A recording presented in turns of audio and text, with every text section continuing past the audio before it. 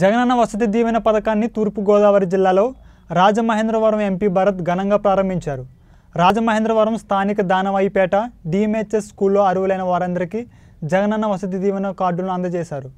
ఈ సందర్భంగా ఎంపీ భరత్ మాట్లాడుతూ రాష్ట్రంలోని ప్రజలందరికీ వివిధ పథకాల ద్వారా మేలు జరిగేలా సీఎం జగన్ నవరత్నాలు రూపొందించారన్నారు.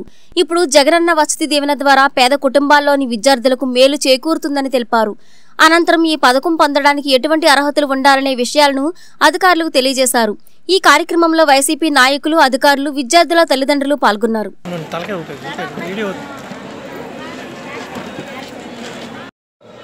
ప్రతి నెల ఒక రత్నాన్ని రాష్ట్ర ప్రజలందరికీ కూడా అందజేస్తున్నారు.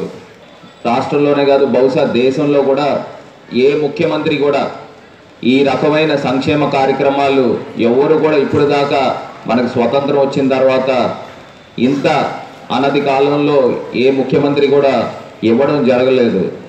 నిజంగా ఆలోచిస్తూ ఉంటే నిజంగా ఆశ్చర్యం అనిపిస్తూ ఉంటుంది. అంటే గత ప్రభుత్వం ఎలక్షన్స్ ఉందనగా ఆరు నెలల ముందు ఆగ మేఘాల మీద అన్ని స్కీములు కూడా ఒకటొకటిగా ఒకటొకటిగా ఇంప్లిమెంట్ చేస్తూ ఉన్నారు.